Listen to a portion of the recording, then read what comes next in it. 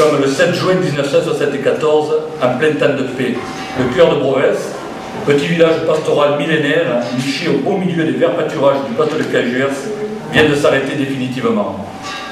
La dernière page d'une histoire de plusieurs siècles se referme dans les larmes et la colère. Cette histoire, elle a débuté il y a fort longtemps, probablement 3000 ans avant Jésus-Christ, quand les Chasséens, cette peuplade venue de l'Est, s'installa dans les plaines fertiles favorables à l'agriculture, repoussant un peu les éleveurs et les bergers vers les plateaux arides. Ainsi qu'en attestent de nombreuses pièces authentiques, une petite hache, un racloir qu'on a retrouvé sur le territoire brovésien. Au moins deux stations ont servi d'habitat. Une première vers le hameau de Chardin, où on retrouve la trace d'un camp préhistorique avec ses murailles transversales et ses murailles défensives. L'autre, au sud du village, au sommet d'un petit plateau nommé Saint-Père, qui conserve encore quelques ruines toujours visibles. La première trace des seigneurs de Brovès date du XIe siècle. Un certain Bérenguier, également co-seigneur de Comte et de Bargem. Les Bérenguiers resteront co-seigneurs du territoire de Brovès jusqu'en 1569. C'est probablement cette famille qui construisit le château de Brovès dans sa forme médiévale, dont on a très peu d'éléments aujourd'hui. Puis les, terres de Brovès et de Bargem furent aliénées par le comte de Provence en faveur des Pontevès d'Agout, qui, outre Bargem, possédait le château de Calas et où il était également co-seigneur, comme il était co-seigneur à Cotignac, Artignosc et Carcès. Joseph Pontevès Bargem vendit le territoire de Provence à Balthazar Raphaëlis en 1479. Mais la vente fut contestée par son père, plusieurs procès furent instruits pour en arriver au jugement de Salomon, moitié du territoire pour les Pontevès et moitié pour les Raphaélis. Ainsi, le territoire brovésien était divisé en deux jusqu'à ce que Joseph Barthélemy de Raphaélis rachète sa part à François de Pontevès en 1729. Au passage, il modifiera très largement l'architecture du château de Brovès pour lui en donner la forme que nous lui avons connue, c'est-à-dire une grosse bastide encastrée au milieu des autres maisons du village. Son père a auparavant agrandi le domaine seigneurial par l'acquisition du territoire de Saint-Romain et celui de Clomagnan. La famille Raphaélis était alors une des plus puissantes familles de Provence. L'histoire se souviendra plus précisément que de, euh, Jean-Joseph Raphaélis, qui était comte de Brovès, qui prit une part essentielle dans la victoire des Français contre les rebelles corses de Paoli, puis durant la campagne victorieuse de Tunis, avant de commander le César, un des vaisseaux les plus prestigieux de la flotte de Lafayette lors de son épopée en Amérique en 1778.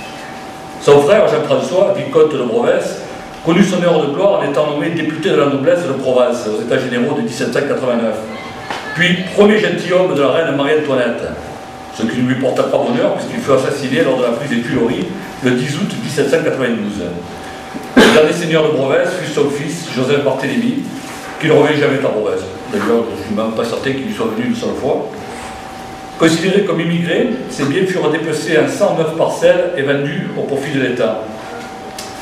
Et les Brouvésiens, dans tout ça, eh bien, formaient une communauté administrée par un conseil composé de deux consuls, un député, trois auditeurs, c'est-à-dire les contrôleurs de comptes, et trois répartiteurs, c'est-à-dire ceux qui répartissaient les impôts. En 1733, une note du Seigneur nous apprend qu'il y avait à Provence comme habitants principaux un vicaire perpétuel, une famille Fabre assez aisée pour avoir fourni un prêtre euh, au village, une famille lotier qui était les ennemis jurés des Raphaélis, un maréchal ferrant, un chirurgien, des tisserands, des journaliers et quelques ménagers, c'est-à-dire des petits propriétaires, soit environ 300 personnes pour 56 familles. L'état de capitation nous apprend la présence d'artisans comme un, maréchal à forge, un quart à laine et un tailleur d'habits. Le cahier des doléances de la communauté de Brovès, rédigé en 1789, est également intéressant car il nous permet de mieux comprendre la dureté des conditions de vie des Provinciens de cette époque. Il demande la suppression de la dîme, qui taxait très sérieusement les maigres récoltes de blé, la suppression de la fournage, que chaque habitant payait pour avoir le droit de faire du feu chez lui, de la banalité, c'est-à-dire le droit de four, le droit de pressoir, etc. Il demande également à ce que les seigneurs soient plus exemptés de charges communales.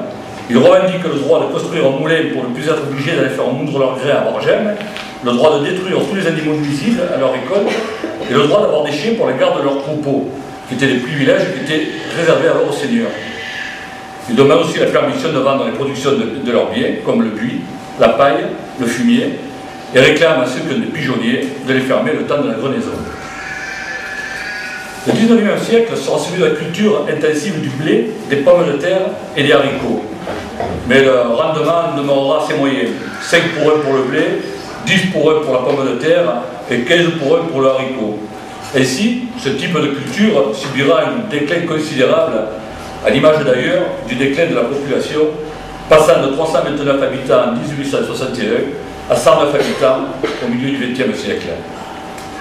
Mais ces terres, si peu favorables à l'agriculture, transformées en immenses prairies, vont se révéler par contre très, très propices au pastoralisme. Les élevages d'ovins trouvaient en province des conditions idéales, à mi-chemin entre les plaines côtières et les hauts alpages, à tel point que les troupeaux n'avaient nul besoin de transhumer. Le nombre très important de cabanes et de packages en pierre sur la commune de prouve sans aucun doute l'origine ancestrale du pastoralisme. C'était également un lieu de passage incontournable pour les transhumants.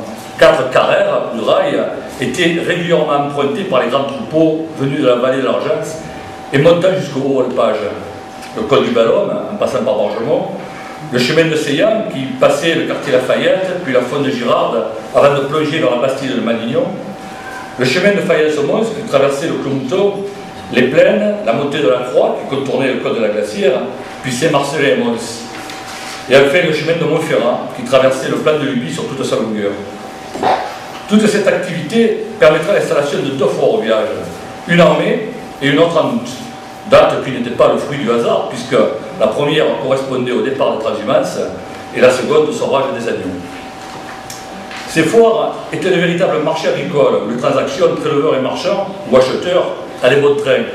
Mais c'était aussi l'occasion pour de nombreux bergers de se faire embaucher pour accompagner les grands troupeaux dans leur transhumance. Brovès était alors véritablement faite, à tel point que même les enfants étaient exemptés d'école ce jour-là. D'ailleurs, L'importance des mouvements d'ovins est telle que la toute première baignoire en mouton du département sera construite à Provence en 1955. Utilisée par les éleveurs locaux, elle sera également utilisée par les transhumants à l'aller et au retour. En 1860, l'effondrement des cours de la laine va obliger les éleveurs à se tourner vers la production de viande. Ainsi, la quasi-totalité des moutons du Haut-Var était destinée à la boucherie. En 1960, cinq des plus gros éleveurs de la région étaient encore sur le territoire brovésien, pour un cheptel de plus de, de 3000 bêtes.